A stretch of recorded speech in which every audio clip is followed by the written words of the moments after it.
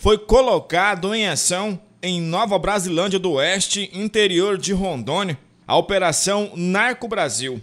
Operação essa que está acontecendo desde o dia 26 de junho em todo o território nacional contra o tráfico de drogas. A operação foi comandada pelo delegado regional de Polícia Civil e também conjunta com os policiais civis de Nova Brasilândia, Núcleo de Inteligência da Polícia Civil da Regional e a Polícia Militar também de Nova Brasilândia. Na ocasião, foram cumpridos mandados de buscas e apreensão expedidos pela vara criminal da cidade, aonde foi localizado porções de droga tipo crack em uma das residências.